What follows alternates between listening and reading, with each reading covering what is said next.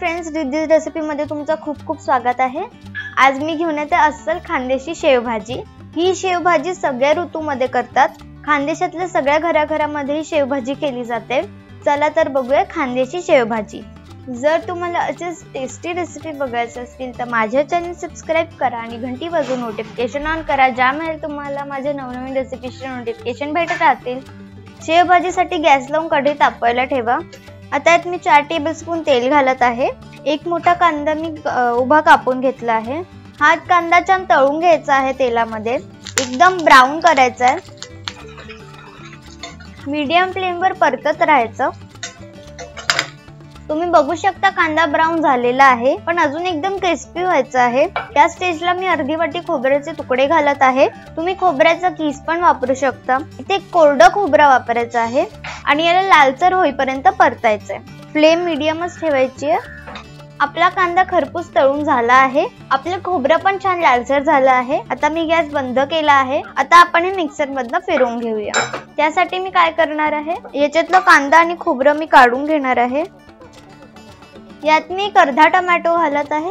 हा ऑप्शनल आहे. याने टेस्ट वाढते. अर्धा इंच आलं. दहा ते बारा लसूण पाकळ्या थोडी कोथिंबीर आणि थोडीशी शेव घालत आहे मी. यांनी काय होतं की रस्सा दाट यायला मदत होते. याला पहिल्यांदा कोरडच फिरवून घ्यायचं आणि मग नंतर थोडं पाणी घालून परत फिरवून घ्यायचं.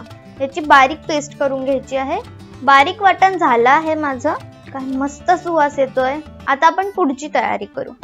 तीच कढई घेत आहे मी.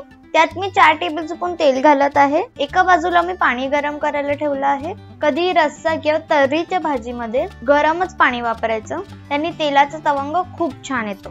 तेल तापले आपण त्यात आपलं वाटण घालूया.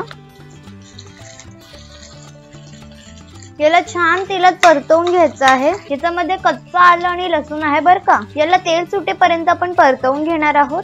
तुम्ही बघू शकता आपल्या वाटणाला तेल सुटलं आहे. आता यामध्ये मी चिमूटभर हिंग घालत आहे. एक टेबल स्पून धनेपूड अर्धा टीस्पून हळद एक टीस्पून तिखट आता हे कश्मीरी लाल तिखट आहे. तुम्ही वेगळं तिखट वापरत असेल तर त्या अंदाजाने तिखट घाला. एक टीस्पून गरम मसाला आणि याला थोडस परतवून घ्यायचं. एकच मिनिटा लागतो याला परतायला.